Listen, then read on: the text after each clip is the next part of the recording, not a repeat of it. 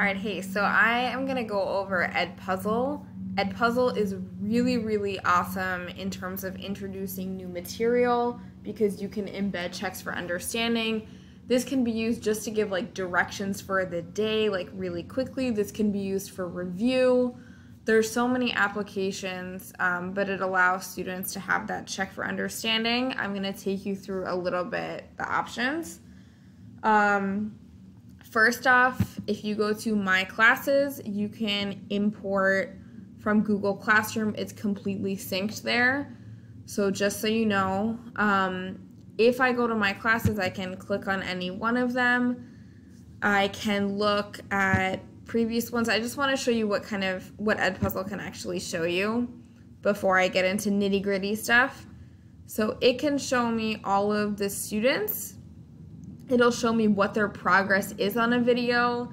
It can show me their grade for what they got. Um, and I can see in real time actually if I assign it who's completing it and who is not. So with that, like, I mean, obviously if I'm in class, then I can circulate and see who's done faster um, or who's done first, then I can make sure to check in with them for the next thing. Um, and if I see that they're not starting, it allows me to be like, okay, I need to check in with you, like what's going on. So it's a really good tool that way. Um, looking also at data. So if I look at this video, um, when it tells me that I have answers to grade, it's because they were allowed to do a free response and I can grade really easily. Um, so if I'm like, yes, that's right, I can give 100. If I think that it's worth like 50 or 75, I can manually input that. Um, so it's completely, it's, it gives you a lot of that flexibility. It also um, can allow you to go into the different questions. So it'll tell you, like for this specific question, that 11 out of 25 people were right. So I can see okay, who had the right answer and what percent, and then who had any wrong answer, which these are people who just haven't. Um, so the wrong answers, it gives you like the number. And the out of 25, it's just some people haven't done it yet or I haven't graded it yet. And so those are some things that you can see. Now, the videos that you can use, um, there are quite a few teachers who are at Belmont Charter High School, and you can search for their videos that they have made.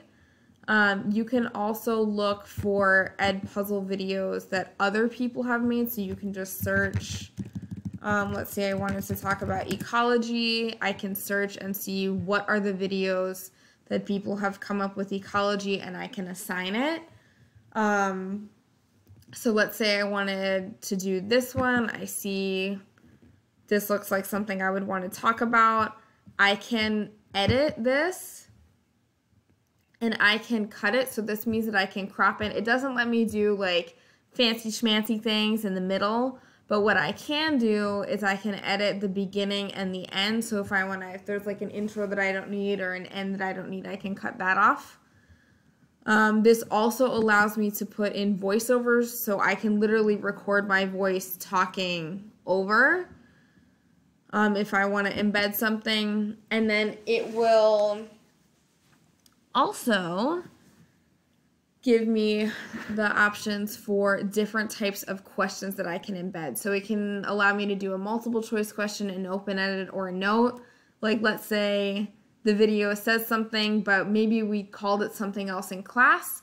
I could be like, this and this are the same thing, just a note, just so you know. Okay.